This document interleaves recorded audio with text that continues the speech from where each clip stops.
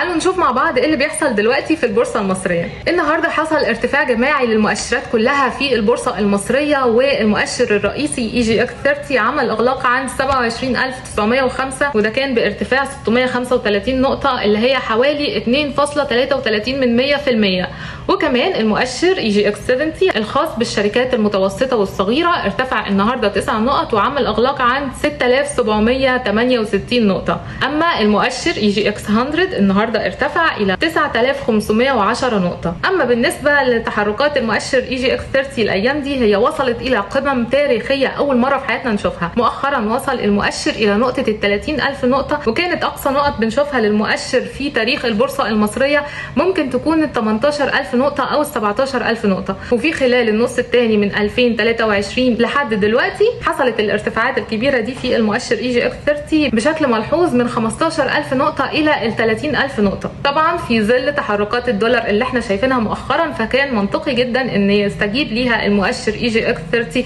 اللي بيعبر عن أكبر الشركات الموجودة في مصر واللي بيتقيم جزء كبير جدا من أعمالها بالدولار مع وجود شركات كتيرة زي قطاع ال petrochemicals اللي بيعتمد على الصادرات مقابل الدولار. طبعا القطاع ده حصل فيه ارتفاعات كبيرة جدا في خلال الفترة اللي فاتت. يا ترى هيحصل انعكاس لتحركات الدولار الحالية على المؤشر EGX 30 خلونا نشوف.